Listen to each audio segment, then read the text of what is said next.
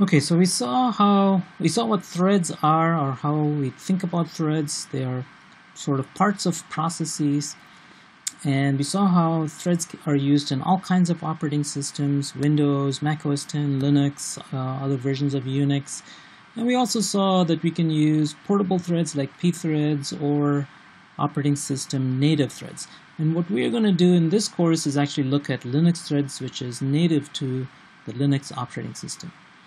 So Linux threads uh, are, are, pretty um, different from things like pthreads. Linux refers to threads as tasks rather than threads. So processes are tasks, threads are tasks, they are all basically tasks in Linux. They do actually have a lighter, um, they are more, uh, they have a lighter presence in the operating system. That is, Linux threads are sort of sleeker and more efficient to start up than processes, but they, in the end, they are, in, in the kernel, they are managed sort of the same way as processes.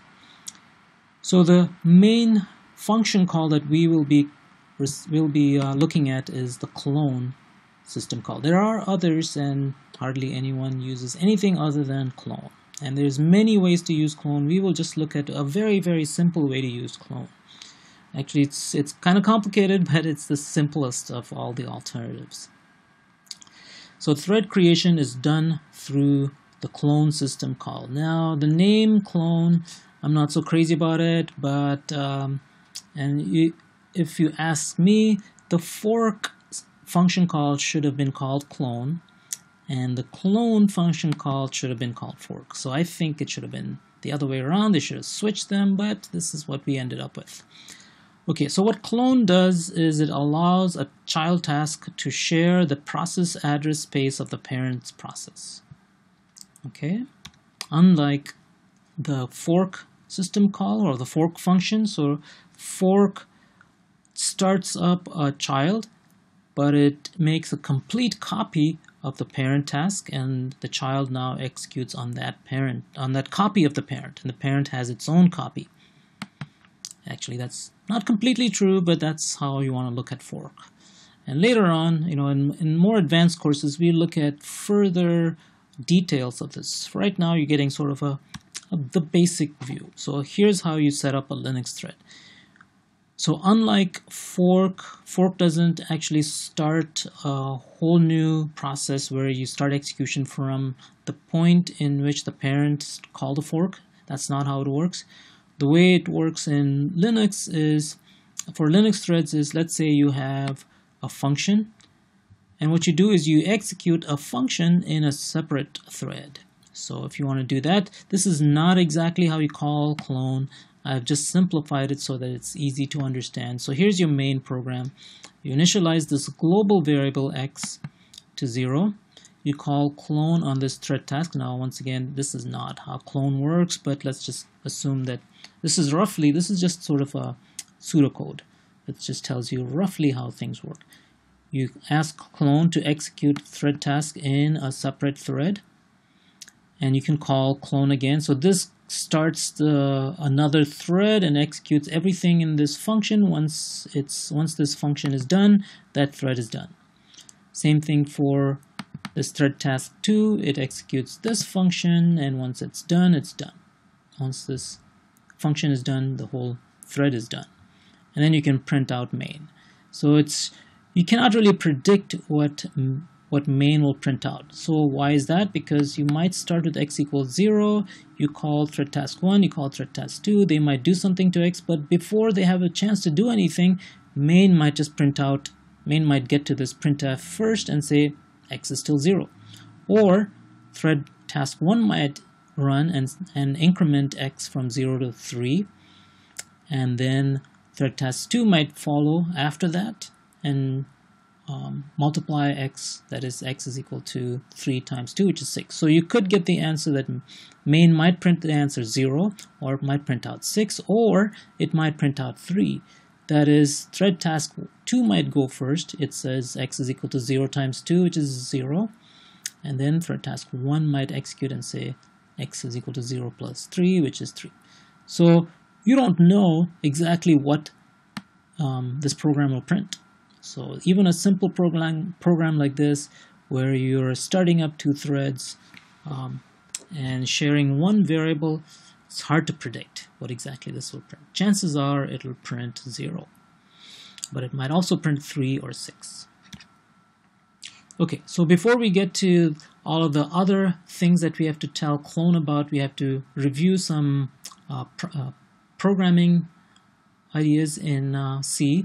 That is, how do you define flags? So remember, we might define different modes, and these are almost always powers of 2. So 2 to the 0 is 1, 2 to the 1 is 2, 2 to the 2 is 4, and so on. And these might be called, for example, 1 might be called mode 1, um, 2 might be called mode 2, and so on. Right, these are mode 4 would be 2 to the power 3, which is 8. Mode 5 would be 2 to the power 4, and so on. You might have up to mode 32. That is 32 modes in a 32-bit int. And these are, why do we do this? Because these are different bits in a single 32-bit number. Okay.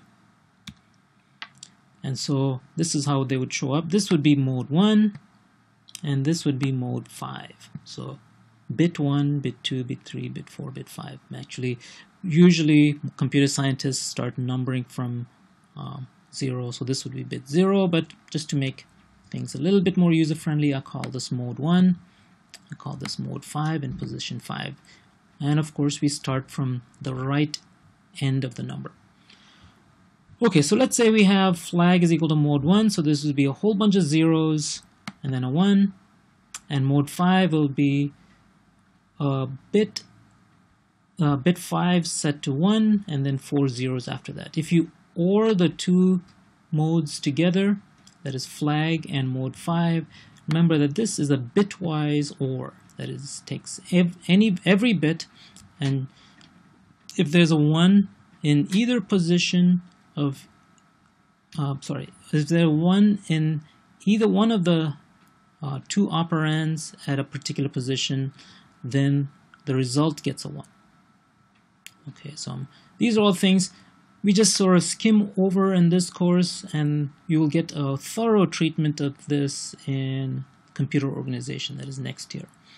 That's the course where you also learn assembly language programming. So it you get a you need a little bit of this and the reason is that we use these modes um, we use some information about the CPU structure that's really important for, for uh, threads. Okay, so as far as Linux threads go, um, this is not exactly the same as other threads, but this is the picture you want in mind. You have your program code that's execute that is loaded to a, for a process. You have files that are open and can be shared by the different threads. You have memory that's accessible to all the threads. So for example, in this very simple program, this global variable x can be seen by all the threads. They can be running at the same time. They would all see the same memory location for x. So when it says x is equal to x plus 3, this is using memory location that's uh, part of the parent, even though this is executing completely um, asynchronously.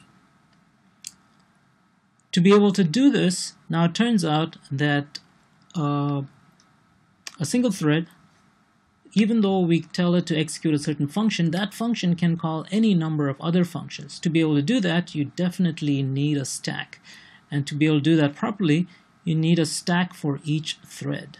And that is the key to starting up clone. So once you realize that each thread has its own stack, not just the stack that's uh, part of the process, its own stack, and you have to allocate memory for it, then you probably will have a much easier times uh, much easier time using clone. Okay, so in addition to the stack, you also, of course, you have to have its each thread has to have its own copy of CPU registers. Now here's the key. So you have to allocate stack space, um, and on Intel CPUs, which is what we will be using, you have to do it in a certain way. So on um, when we on Intel CPUs, as soon as you push something, and I draw my address space like this. Low addresses at the top, high addresses at the bottom. So this would be the address 0, and this would be the highest possible address.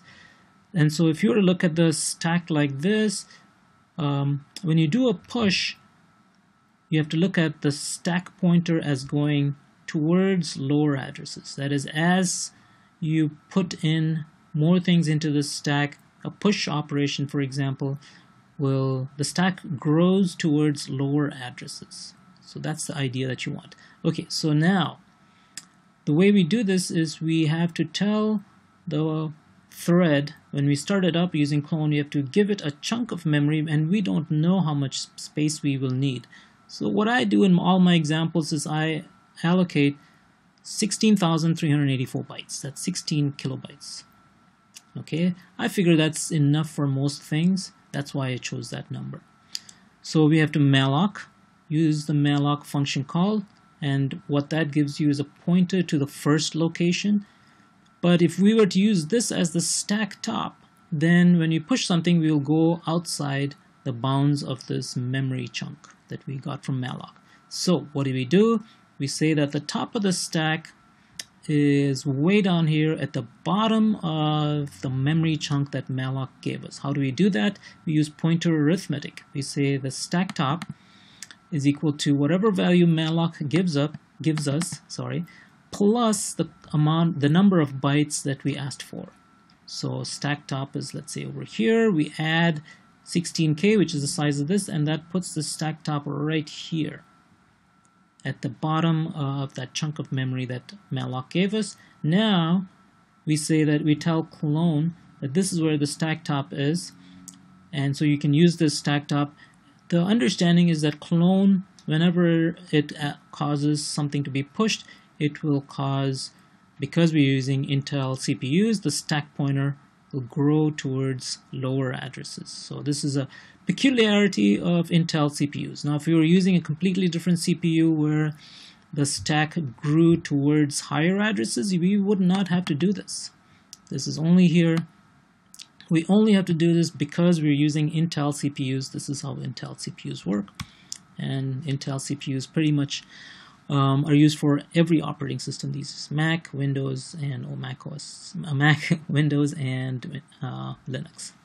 Okay, so now let's take a closer look at the some of the other parameters that we ignored for clone. So first of all, we do have to tell clone what the function is that we're going to call. So here's the function. And notice in this function, we call some other function, printf.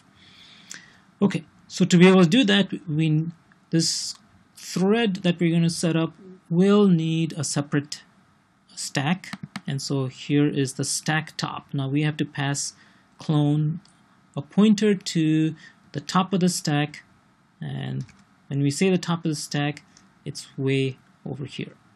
Okay this chunk of memory that we have these are low addresses these are high addresses because the push because the push operation grows the stack towards lower addresses we have to tell clone that this is the top of the stack. It knows that pushing things onto the stack makes the addresses go lower so you do have to do this, and this is one of the key pitfalls that people have. They forget to do this addition, and then they allocate the space, but they they give the they give clone this location that is the lowest addresses, and of course, as soon as you push something onto the stack, you go into some illegal memory access, and your whole program crashes. So don't forget this step. The other pitfall is that people forget that every thread has to have its own separate chunk of stack space. And so uh, what I've seen people do is set up two threads but give it the same stack space. That's guaranteed to cause you all kinds of headaches. It might work some of the time, but a lot of time it won't. Okay, so don't forget that separate stack top for each thread. Now, so there are some, there's a whole bunch of flags. Now for, to get started, this is all you need to do.